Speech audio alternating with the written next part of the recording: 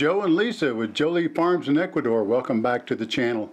So glad you're with us today. I want to thank everyone for all their subscribes and thumbs up and all your wonderful comments. Appreciate every bit of it. So we talked to you in our last video about how we built our casita when we first came to Ecuador. Well, we want to talk to you today about our garden cottage. Um, Lisa's mother came for a visit, what, must have been three years ago? Yeah, it's been about three years It was ago. two weeks before the pandemic started. That's when she was supposed to go back. So she was kind of stuck here during the pandemic. Um, two weeks before she was supposed to go back, they shut everything down, so she couldn't get a flight out. And so she basically got a free year to just hang out. Yeah, they didn't, you know, make her get a visa or anything during that year, didn't No. charge her any, you know, extension fees or anything. Nope, just a free year. So then, you know, she decided, well, I think I'm going to stay. Yeah. So that uh, presented a, a new issue. And so um, we had an Ecuadorian family living in a 40 foot container on the property. And uh, they had been there with the previous owners. And we had never seen the inside of this container. It had a, had a thatch roof. And uh, it was all eaten up with termites and bugs and stuff in it. Yeah. And um, so uh, at some point, we they decided to live somewhere else, and we said we're going to rehab this container and make it a tiny home or a garden cottage for for Georgia. Yeah. Yeah. So um, you know, once they moved out, they had a wall in one end that was separating like a storage room.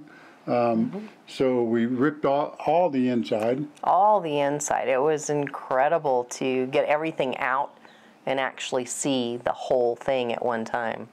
Yeah, the floor was was an, an absolute mess. You know, oil stains and stuff, and especially on the side where the um, storage was, and it was um, it was quite a mess. We had to do some patchwork here and there. Um, so yeah, we um, we first we gutted it, and then we did um, the ironwork for the, a new roof to cover the entire thing. And I had uh, Maestro Victor Ortiz involved in doing that. And he is incredible. He's like one of the best guys here in Vilcabamba. He, Victor is great. Hats off to Victor. And uh, he's located right behind the uh, bus station, so easy to find Victor. So he did the ironwork for the new roof and then uh, put the roof on. I can't remember, like 90 square meters of roof or something, but Yeah, it was a lot because it doesn't just cover just the container. It covers the whole slab area, so you have um, you can make use of the outdoor living space a lot better. yeah, I made a really nice uh, shaded porch for her there. And um, so, yeah, the, the floors were, were really bad. We had a guy come in and he had one of these giant sanders, these two little guys, and the uh, indigenous guys came in, they sanded that floor down, took them a couple days. They filled holes and, uh, you know, patched holes and sanded again. And when they got it all cleaned up, then they put a nice lacquer finish on the floor. Gorgeous. Oh my gosh, it was so gorgeous. Made for a great floor and uh, really, really nice. So when we got that done, my friend Edwin Castillo, he and I uh, pulled a new electrical from all the way from the box all the way over there to the container. Um, ran electrical lines for plugs, lights, indoor, outdoor. It has its own little breaker box on there now. yeah. And so all new, and we put it inside little uh, snap channels so you know the wires wouldn't get damaged. And um, then we had the guys come in with the gypsum board or sheetrock as we call it in the U.S. That really made a big difference because one, it added a little bit of insulation in there, um, helped with the sound, so it doesn't sound like you're in a big echoey cavern. Yeah, and it uh, really, really made it nice and comfy. Um, Victor and his crew then painted the entire outside of it and uh, really made it look good. The doors on the end that used to swivel open are now welded shut and put a window in that end. Yeah. Um, they put all new windows with bug screens and They went did. ahead and put the, they call them bars of protection on top of the windows. Mm-hmm. Uh, That's pretty standard operation here in Ecuador. Um, so yeah, then uh, I installed all the new lighting fixtures. Um, we had the tile guys come in, um, Jose Villa and his father Byron. Uh, again, great tile crew. They came in, did the tile work in the bathroom and shower, and uh, on the countertops. We did really nice tiles on the countertops, and um, they're kind of an imported uh, little square tile. and uh, they worked out really well. They did. And so all new fixtures, put a, a tiny kitchen in it with really nice cabinets and drawers. And it has a four burner uh, stove top, um, a nice uh, stainless steel sink. And of course, the refrigerator fits in there. And then Milton's uh, carpenter is so good. He, uh, Augusto, hats off to Augusto. He um, built an anwar uh, to, to hold clothes and things like that. And that acts as a separation between the kitchen and the bedroom. So, It was really nice. It's um, adding privacy in there that you wouldn't have had otherwise, because otherwise it would have just been straight through. and putting walls and doors in is just not a great idea. Um, he built a sliding barn door for the bathroom. Turned out great. Yeah, that turned out really nice. Um, so yeah, he did a great job on that, and um, we had some furniture made. Augusto had some furniture made, and uh, got a couple nice chairs in there. Yeah, she had some pictures of some uh, some little simple chairs, and they did a really good job recreating them from pictures. Yeah, and um, yeah, they just did marvelous work, and we had some um, finally had some iron railings put up outside, banisters, if you want to call them that. It's all wrought iron work that Victor Ortiz and his guys handled all that work. Yeah, that really changed everything. So you had just a flat slab with a, a cover over it, and then adding the railing made it almost like your outdoor living space.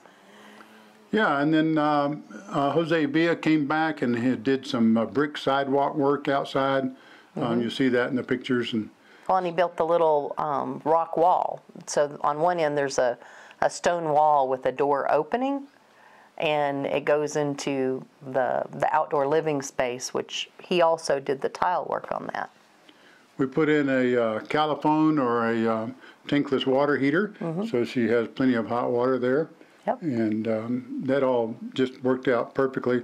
We did use the RCA calefón again, um, and that's that's just really delivers a lot of hot water. It really does.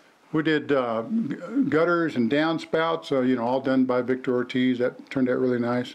And as you see in the pictures, there's lots of wonderful landscaping outside, and that's all done by Georgia. She maintains it, she babies it every day. Landscaping by Georgia. There you go. and she's done a marvel, marvelous job with it.